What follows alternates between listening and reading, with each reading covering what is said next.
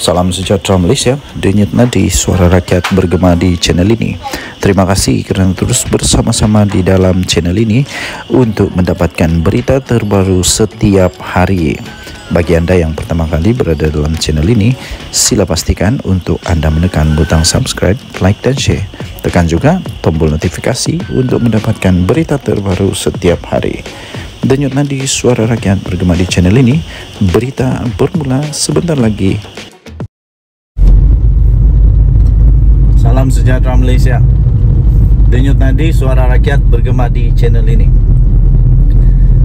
Kita sudah pun tahu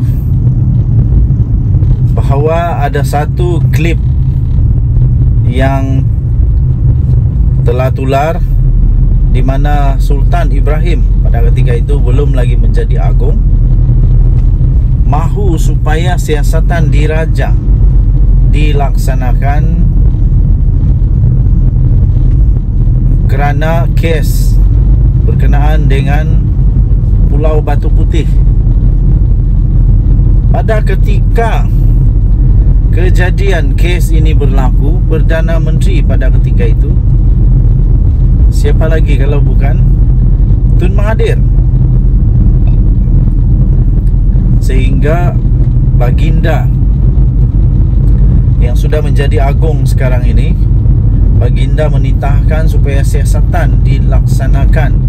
Kerana menurut Baginda kalau saya tidak lupa pada video itu ingatkan saya isinya kalau saya tersilap. Baginda berkata tidak ada pun perbincangan dibuat dengan kerajaan Johor. Itu keputusan yang sangat-sangat mendukacitakan itu. Kerana itu Baginda berkata Baginda menitahkan supaya ada RCI dilaksanakan Dan sekarang kita tahu bahawa Suruhanjaya Suruhanjaya diraja Untuk menyiasat RCI Menyiasat perkara ini Sudah pun dibuka. Nampaknya Mahathir Dan Daim Zainuddin seakan-akan Sama ceritanya ya bila nak dekat-dekat nak kena dakwa sakit masuk hospital. Tun Daim sudah pun didakwa di mahkamah dan ada peluang untuk dia menikmati hidup di penjara maksimum 5 tahun. Dan denda kerana gagal mengistiharkan harta. Tun Mahathir pula selama ini berdiam diri tapi akhirnya dia pun ikut sama Di dalam himpunan Yang tidak ada permit. Akhirnya disiasat juga oleh pihak-pihak polis. Tidak ada permit Dalam perhimpunan haram itu Di depan istana negara. Walaupun yang diberikan uh, Apa diberikan Apa ini uh, Berkenan daripada Agung pada ketika itu hanya beberapa orang saja untuk hantar memorandum. Tapi akhirnya ada perhimpunan haram dilaksanakan di sana. Ada perhimpunan haram yang hadir turut hadir adalah Mahathir. Kenapa? Sebab anak dia disiasat oleh SPRM diminta untuk mengisytiharkan harta. Apa masalah kalau hanya untuk isytihar harta?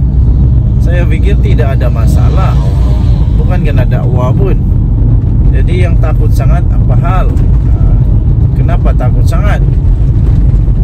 Ha, jadi sekarang memang patutlah. Sekarang memang betul ha, Mahathir patut takut. Mahathir patut takut sekarang ini kerana siasatan diraja sudah dibuka untuk menyiasat Pulau Batu Putih punya kes ini. Seandainya ada kes habislah Mahathir boleh menjadi Perdana Menteri kedua yang mungkin didakwa disiasat oleh mahkamah. Ha, Jadi sejarah mungkin tercipta lagi. Adakah Mahathir pula akan termakan sumpah laknat daripada Najib Razak. Ha, Ataupun semua mereka termakan sumpah laknat sendiri. Kita tunggu dan lihat saja Denyut Nadi Suara Rakyat bergema di channel ini. Jangan lupa tekan butang subscribe, like dan share. Bye Salam sejahtera Malaysia. Denyut Nadi Suara Rakyat bergema di channel ini. Tuan-tuan dan perempuan yang dihormati sekalian Masihkah kita ingat lagi uh, Seorang MP Mengatakan bahawa Akan ada 16 orang uh, Akan ada Ramai orang lah Ramai MP yang akan Menyatakan sokongan terhadap Datuk Seri Anwar Ibrahim Perdana Menteri Malaysia. Tuan-tuan dan perempuan yang dihormati sekalian 16 dari bersatu akan menyokong Anwar Ibrahim. Itu kata ahli parlimen Bukit Gantang Pada 7 Februari yang lalu. Kita akan tengok nanti Pada uh, pembukaan parlimen ini Adakah 16 ini benar ada Ataupun ini hanya gimmick politik yang dimainkan oleh beliau Tapi dengan penuh keyakinan Beliau mengatakan bahawa ia memang benar ada 16 daripada bersatu yang akan sokong Datuk Seri Anwar Ibrahim.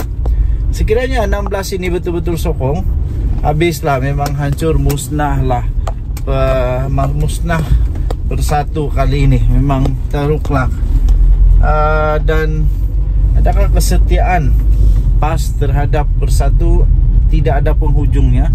Adakah kesetiaan PAS kepada Perikatan Nasional tidak ada erti hujung? Sampai bila-bila pun dia boleh bertahan Walaupun sudah ketara sangat Bahawa bersatu tidak ada uh, Kekuatan Tapi PAS masih bertahan Ahli Parlimen Bukit Gantang Datuk Syed Abu Hussein Hafiz Syed Abdul Fasal. Kini mendakwa ada 16 ahli parlimen dari Bersatu menjelang hujung bulan ini, bulan Februari ini. Sebelum ini dia kata ada lebih daripada 10 Kini angka tersebut telah meningkat kepada 16 Kita tunggu dan lihat.